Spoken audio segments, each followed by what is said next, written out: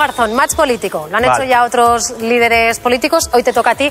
Esto es muy sencillo. Verde, van a aparecer varias caras de líderes políticos o gente muy conocida del país Vale. con cargos. Verde es que, oye, que te cae bien, que sí que le aceptas. Rojo es que ni en pintura. Y el naranja es el comodín, la estrella. Es Favorito. que Eso es mejor que el Sí. verde, para que nos entendamos, ¿no? Eso es buenísimo. Venga, la primera persona que aparece en este match político, ¿quién será hoy? Reina Leticia.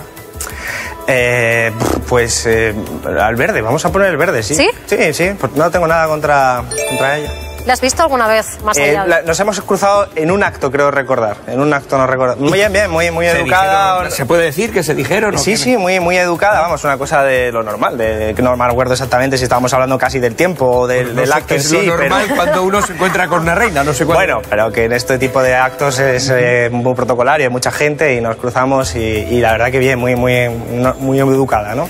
Bueno, segundo protagonista del match político, a ver qué decide Alberto Garzón. Pedro Sánchez.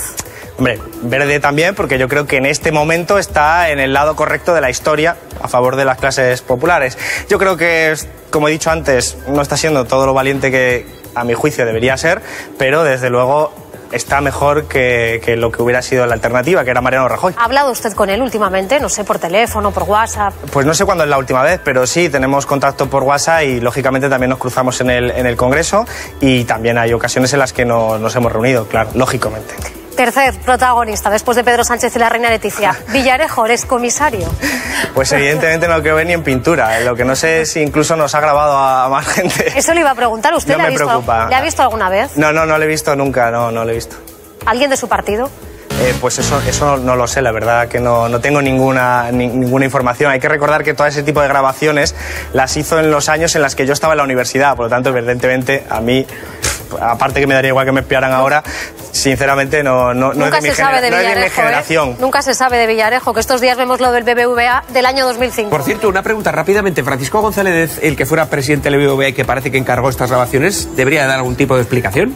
Bueno, evidentemente. Además es una persona que se va a llevar una pensión muy modesta, 80 millones de euros. Da para tirar. Da pa' modesta, modesta. Entonces es una persona que yo creo que tiene que dar explicaciones, pero además a mí lo que me gustaría es que esto fuera a juicio. Es decir, que fuera a juicio y que los culpables... eh, estamos hablando de algo muy, muy grave, que es un presidente de un banco mandando espiar a miembros del gobierno, entre otros. Es decir, mm, es un ataque a la democracia y por lo tanto yo creo que esto debería estar sancionado.